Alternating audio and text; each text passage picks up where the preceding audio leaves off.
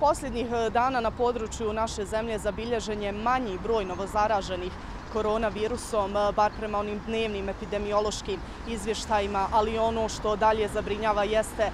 da je i dalje visok broj preminulih od eh, posljedica zaraze koronavirusom. Nimalo hrabrujući podatak stigao je iz kriznog štaba Federalnog ministarstva zdravstva u kojem se navodi da je samo u proteklih mjesec dana preminulo skoro 2000 osoba od posljedica zaraze koronavirusom. Posljednji bilans kaže da je preminulo 68 osoba, ali evo nekako u Ministarstvu civilnih poslova naše zemlje e,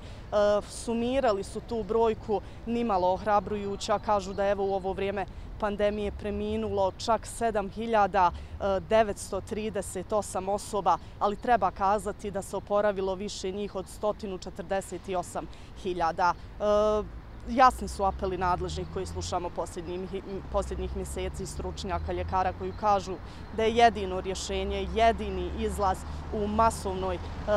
vakcinaciji stanovništva, ali evo svjedoci smo priče kada je u pitanju nabavka vakcina i dok li se stiglo, ali evo ono što je ohrabrujuće jeste da e, na području kantona Sarajevo sutra počinje prva faza, e, kako kažu, masovne imunizacije. Istina, riječ je o starijim osobama, riječ je o osobama E, koje imaju iznad 70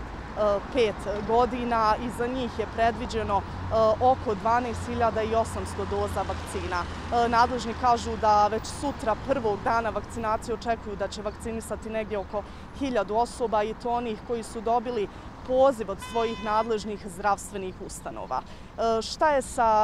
vakcinacijom ostalih kategorija stanovništva, naročito ono, ono, onih radno sposobnih čekamo jer očigledno je da sve još uvijek zavisi od samog priliva vakcina i samog dolaska na područje Federacije Bosne i Hercegovine. Leila Čeljo, BHT1, Sarajevo.